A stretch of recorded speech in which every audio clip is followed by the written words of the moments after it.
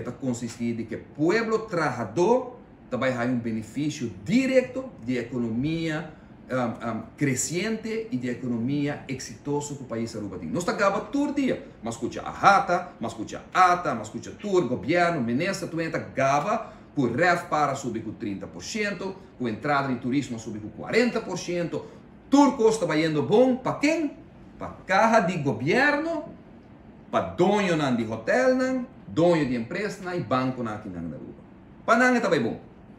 A nossa vista está chegando momento para vir com lei caminha que benefício aqui econômico, ganagem de empresa na Aruba, um porcentagem de ganagem também para o trabalhador, que aia den aia for, ajuda a empresa vai adiante e logra a ganagem aqui.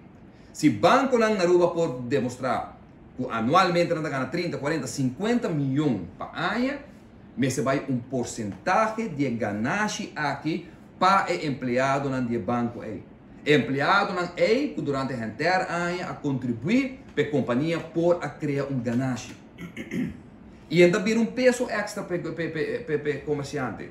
Para não estar assim, é suma aí que está do nabe. É porcentagem é de ganagem que a companhia não vai ter no futuro, que a contribuir através de benefício econômico laboral direto no trabalhador, que o trabalhador também forma e ganha e sente na mesma parte da companhia, está deducível 100% de belasting de dono de trabalho.